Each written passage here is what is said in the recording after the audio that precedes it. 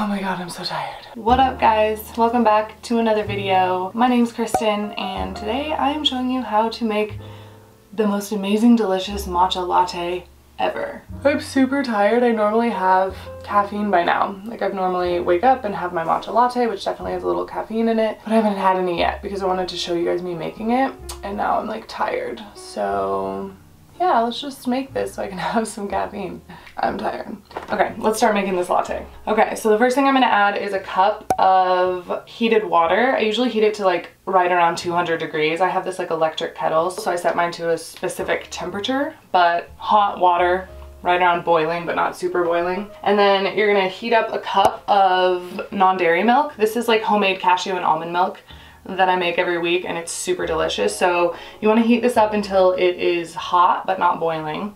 So a cup of that is going in as well. Okay, the next thing I'm adding is two dates. So I like mine a little on the sweeter side, especially if it's sweetened with dates. So if you don't want your super sweet, then use one date or you can also use like maple syrup or any kind of sweetener that you prefer.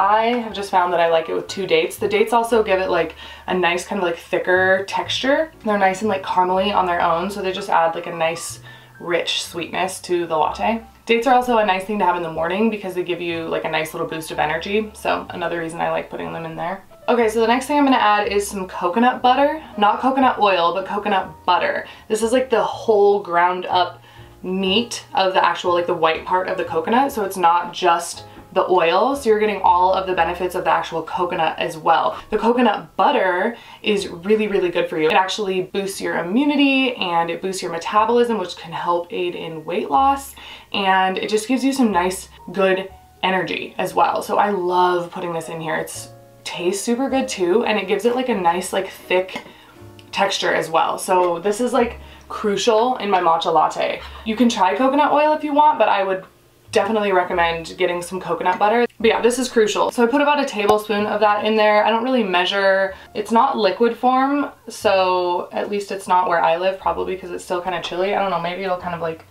it's pretty solid in there. Okay, so a about a tablespoon of the coconut butter goes in. Again, that's just gonna make it like nice and thick and creamy and so good. All right, so the next thing going in is the actual matcha itself. And the brand I use is this brand called Wanna Matcha. It is a local Boise brand, so that's why I like using it. I like supporting local companies whenever I can. So I use a premium grade organic matcha powder and you want to make sure that it is sourced from Japan. And if you don't know what matcha is, it's essentially just like the ground up tea leaves from green tea leaves. So all the benefits that you get from green tea, you're getting those like times a bunch in here because you're getting like the actual ground up leaves and it's just a really really fine powder and it's really really really good for you. I love matcha in the morning because it gives me just this like this nice sustained energy without any of the jitters that like coffee can give me.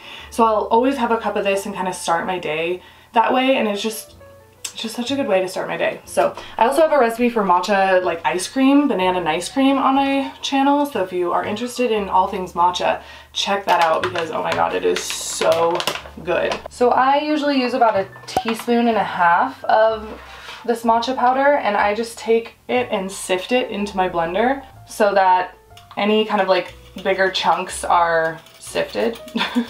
I guess that's what a sifter is for. If you're blending it up, you probably don't have to sift it, but I just feel like it helps for some reason. Okay, so after the matcha's in, we just have a couple more simple ingredients. So I like to use a little bit of turmeric. I fucked up my knee really bad in high school playing basketball. I tore my ACL amongst other things and have like really bad arthritis in my left knee. So I, anytime I can, add turmeric to anything that I have.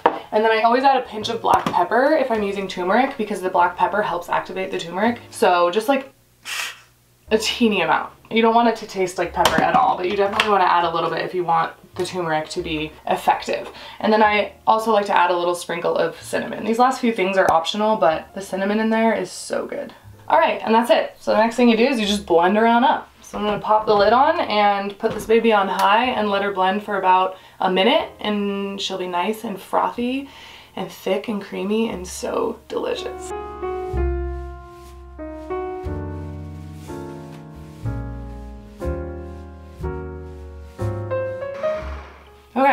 After about a minute, she's all done. This matcha is a woman, apparently. Because I keep calling her she. So that's it. That's everything. Everything's all nice and hot. Everything's already hot because you put it in here hot. And then everything got all nice and blended up. Now we're just gonna pour it into a mug and drink it.